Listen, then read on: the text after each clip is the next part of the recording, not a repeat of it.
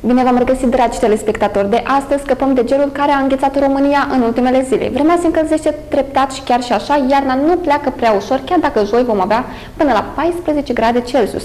Soarele va fi mai generos de miercuri, când vremea va deveni mai caldă decât în mod normal pentru ziua de 27 ianuarie. Cel mai cald se anunță în zonele de deal și de munte. În timpul zilei, termometrele nu vor mai coborâ sub 0 grade, iar valorile vor fi cuprinse între 0 și 10 grade, cu 3 grade în județul nostru, în județul Iași, iar noaptea se vor înregistra temperaturi cuprinse între minus 5 și 5 grade Celsius. Cerul va fi temporar noros și vor cădea precipitații mixte pe are restrânse la munte și în Maramureș și cu totul izolat ploi în rest. Vor fi condiții de producere a poleiului. În Pașcan se încălzește binișor. Vom avea mâine 6 grade în termometre ce se vor resimți ca o temperatură de până la 7 grade, iar cerul va fi variabil.